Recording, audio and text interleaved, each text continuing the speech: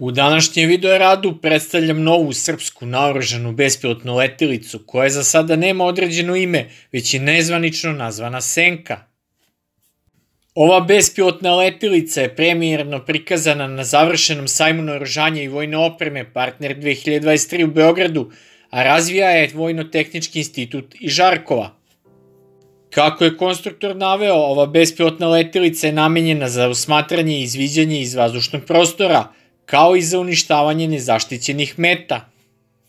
Ova bespilotna letilica ima kratki dolet, a njeno poletanje se obezbeđuje lansiranjem sa katapulta, dok se njeno sletanje vrši padobranom, što omogućava njena dejstva nezavisno od aerodromske infrastrukture – Ova bespilotna letelica posjeduje potpuno autonomno upravljanje i može biti naoružana sa 12 lakih granata kalibra 40 mm za njihovo vertikalno odbacivanje ili dve planirajuće minobacačke mine kalibra 60 mm za dejstvo sa distance.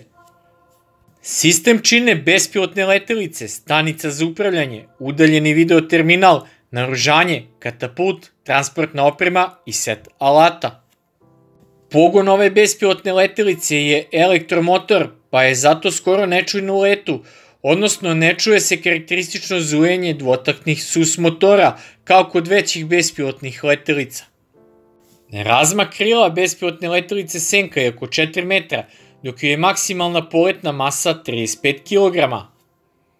Poletanje i sletanje bespilotne letelice Senka se vrši sistemom katapult i padobran – Može da ponese do 11,5 kg korisnog tereta, u šta pored naoružanja spada i elektrooptička oprema. Operativna visina bespilotne letelice od 500 metara do 1500 metara, a maksimalna brzina bespilotne letelice je veća od 90 km. Istrajnost leta bespilotne letelice je veća od 3 sata, a njen maksimalni radijus dejstva je veći od 50 km. Naoružanje bespilotne letelice Senka čini 12 granata za podsevni bacač kalibra 40 mm ili dve minobacačke mine kalibra 60 mm sa setom za planiranje. Za bespilotnu letelicu Senka se od naoružanja posebno razvija komplet za konverziju minobacačke mine kalibra 60 mm koje postojeće minobacačke mine pretvara u vođeno sredstvo planirajuću municiju sa krilima koja povećavaju dometu. Vođenje ove bespilotne letelice potpuno automatsko sa oslanjanjem na GPS i inercijalni navigacioni sistem, a omogućeno je gađanje i po fiksnim koordinatama cilja i po koordinatama koje daje optoelektronski sistem letelice.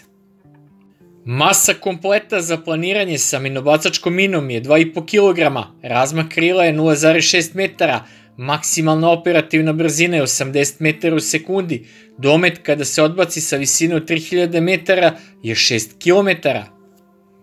Sve u svemu, kako navode konstruktori iz Vojno-tehničkog instituta, radi se o bespilotnoj letelici na kojoj je primenjen autopilot i softver koji predstavljaju dalji razvoj sistema primenjenih na bespilotnoj letelici Vrabac.